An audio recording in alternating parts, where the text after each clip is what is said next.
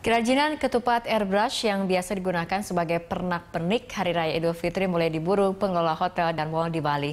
Pengrajin ketupat airbrush mengaku kewalahan memenuhi permintaan konsumen yang melonjak hingga 200 persen dibanding tahun lalu. Salah satu workshop ketupat airbrush di kawasan wisata Kuta ini sedang menyelesaikan pesanan yang membludak dari pengelola hotel dan mall. Ketupat airbrush biasa digunakan sebagai pernak-pernik Idul Fitri di hotel dan mall.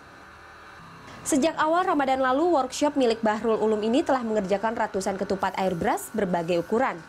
Karena pesanan tahun ini meningkat 200% dibanding tahun lalu, Bahrul Ulum yang hanya dibantu satu karyawan mengaku kewalahan memenuhi permintaan konsumen.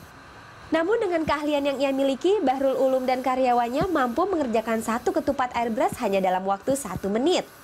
Proses pengerjaan ketupat airbrush ini cukup mudah. Spon topi yang dibentuk ketupat kemudian dicat menggunakan airbrush berwarna hijau.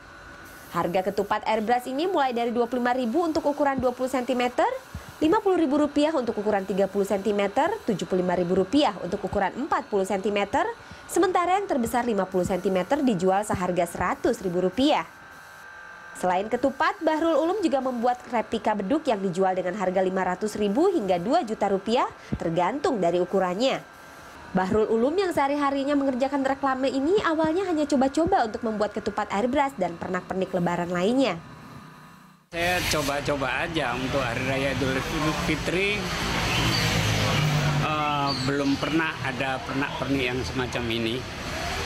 Jadi saya coba, ternyata peminat dari konsumen banyak. Nah, menarik bukan?